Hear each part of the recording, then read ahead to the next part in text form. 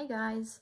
It seems I did not finish my super granulating watercolors from Schmincke.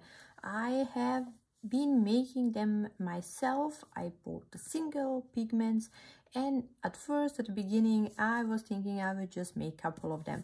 So these are the colors which I had at the beginning and these are the ones that I made from those colors if you are interested about that you can check my other video i will put it in the description and I had so much fun doing that that I decided I will also do the other colors from other sets. And then I continued and did the other sets which were missing.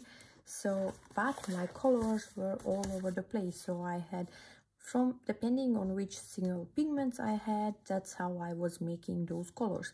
So if you are interested in these colors I will put the link in the description. But I right now notice that I stopped at that even though I made all the colors as you can see here. I did not film it. So um, I decided I will do the swatch of the two missing sets. So there are two more sets which I made. Uh, that is the desert set and the Shire set. So I'm gonna swatch now those ones. And hopefully after I finish the swatching I will be able to find my notes where I wrote um, the ratios which I used. You see, it was such a good thing that I wrote them here because right now I cannot remember at all what I mixed there. But I hope I will be able to find it. So after I do the swatch, uh, at the end, I will write all the pigments and ratios that I use. So if you want to make them yourself, you can do it. So let's just start with the swatching.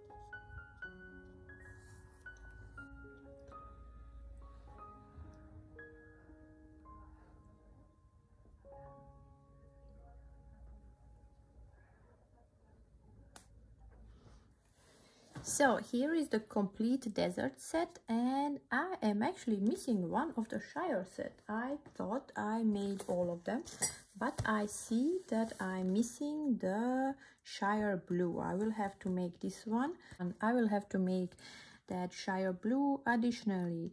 Uh, but let's take a look at these ones. Uh, what do we have here in the desert set? We have desert yellow which is actually a nice color. You have some hint of the brownish coming through. This is the desert orange. Well it's okay. Color not really my favorite one. Uh, desert brown. It is pretty pale. Then we have the desert green. Oh this one is so nice. There is this pr 106 coming through which looks really nice. And we have the desert gray and with the desert gray i'm not sure if you can see that but there is yellow coming through all over the place which is also really nice. And now if we come to the shire set this one is the palest one i would say. Uh, it does not really stand out uh, I think so this one these colors would be nice probably for the leaves and some forest but they are really pale. So what we have here this is Shire Yellow. Well yes of course you can put more of the color down so you will get a richer color on the paper if you go a couple of times over this uh, place but you see if you are just putting one layer this is how it looks like. Uh, pretty pale. Then we have Shire Olive. That's this one. Well it's okay. And then we have the Shire Green. Here we really have this yellow coming through and the green is also visible.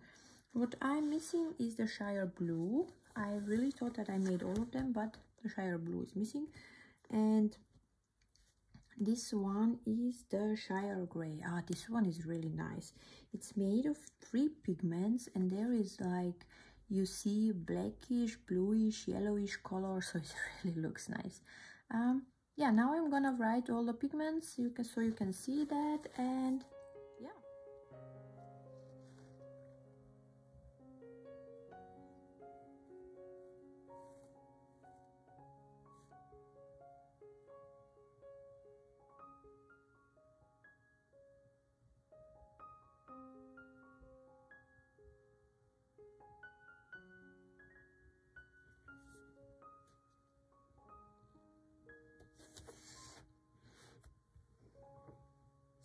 so this is the whole desert set and this is the shire set with one color missing. So guys thank you for watching and see you next time. Bye